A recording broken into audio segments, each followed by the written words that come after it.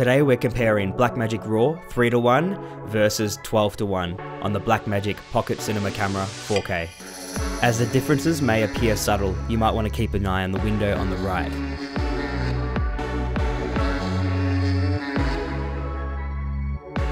Eight to one is the first time I can see a difference and it feels like it's a little softer.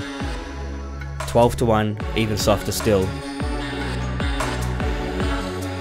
Find Q0 and Q5 very similar to 3 to 1, so they must be using a very similar compression for this particular shot. And here we have ProRes 422 HQ. As you can see, 12 to 1 is the softest out of these three, but it's only really noticeable when you zoom in this much. This test has been shot two stops overexposed, then brought down in post.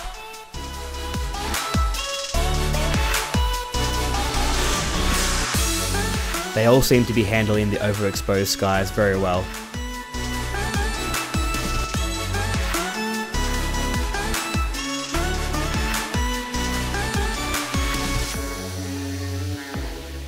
It seems like ProRes has a slightly lower dynamic range, with the sky turning into a solid shade of grey without any detail. This is a very similar test to the first one, but this time with some motion.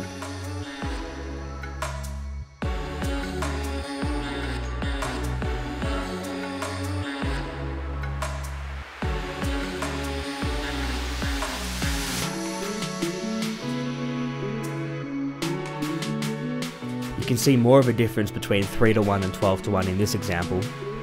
3 to 1 has a bit more detail in the leaves. Let's see how they perform in low light.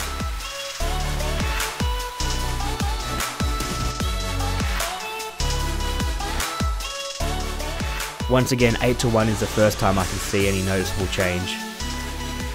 And then 12 to 1 becomes slightly softer than 8 to 1.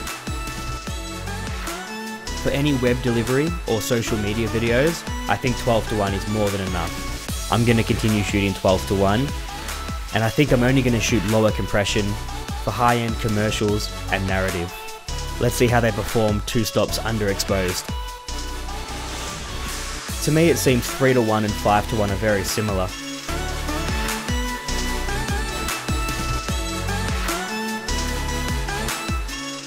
I'm very impressed with 12 to 1, considering how much smaller the file sizes are to 3 to 1.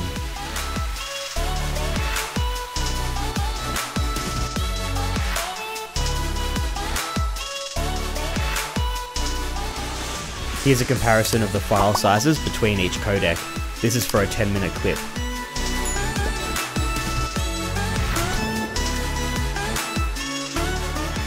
I'd love to hear what you've taken away from these tests, and if you have any other suggestions, please let me know.